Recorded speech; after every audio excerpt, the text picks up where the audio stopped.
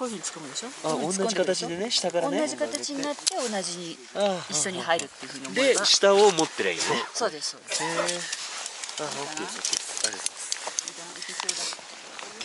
なるほどねで締めるんですね。そうですねこれはいいじゃない？あそうすると？そう。でこの状態で。万が一落ちた時にここにいてくれるわけだ。そうそういてくれんの。先に入れればね。うんうんうんでこうしたらああどっかにこれ。すげえ。そうそう。でこっからハーネスからこれを絶対に離さない。へで外す時もえええ外す時ええ。ここうなってるとなんかこっちを先に外しうんがち、外さない。そしたらここにいるじゃない、こうですね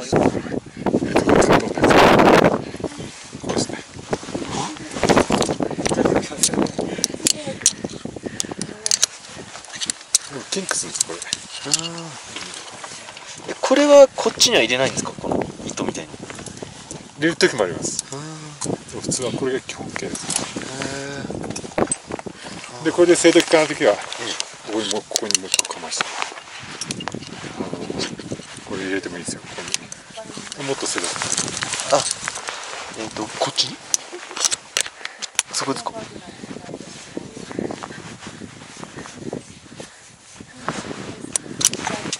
あそういうこと？もっと静電気化でも普通はああえでこれ取るときどうするの？あ一回取んないといけないんですか？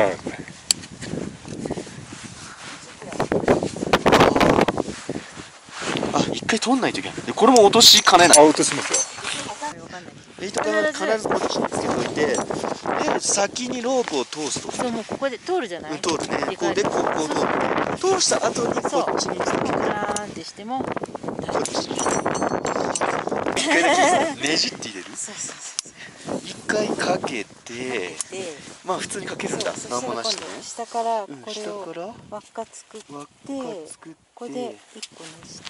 こうやるみたいなへえ形を覚えてくれ結構ね入れる方向によってパターンがあるから。わかりました。映ってるんで大丈夫です。映ってます。これでいい？えここで。えーっと。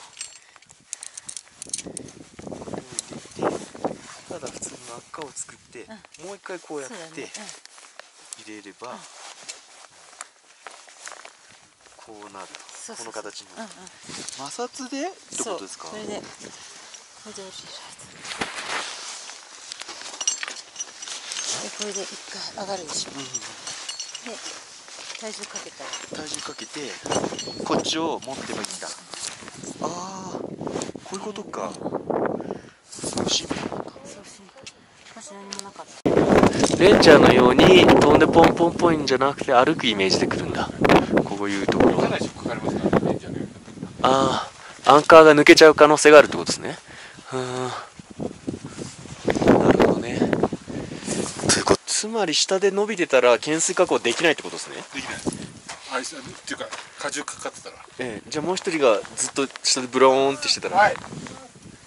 はい。ダメなんですね。実際荷重かかったら降りれないですよ懸垂使えないってこと。使えない。その時